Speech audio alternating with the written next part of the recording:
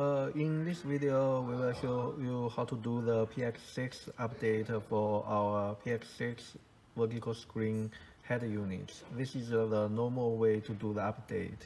Uh, we will also have another video showing uh, you how to do the format update, basically wipe the data partition of the uh, Android tablet. So you make sure this is the file name, px6.zip. Uh, do not unzip it or extract it. Make sure it's directly inside the USB drive, no folder uh, outside the zip file. And um, make sure the USB drive is in FAT32 format and uh, then we can remove the USB drive and go to the head unit. Uh, then we can just plug in the USB to the unit.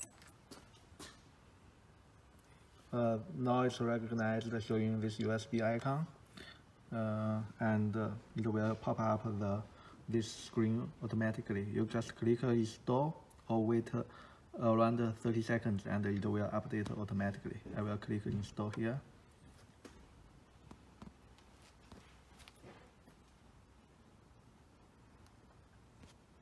The unit will reboot and uh, uh, then the update will start.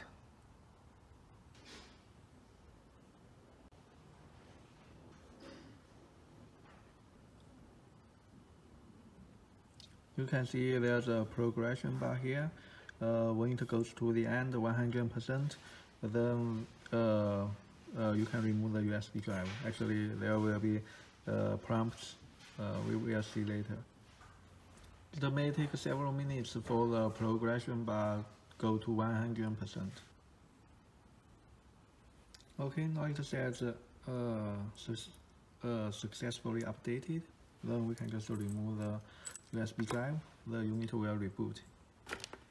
If the unit doesn't reboot automatically, then you can just press the uh, reset button here.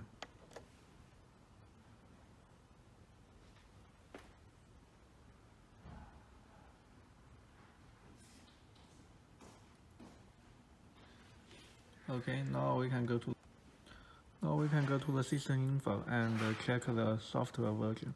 It says app version 2019 November 22nd is today's date, so it's not the newest one.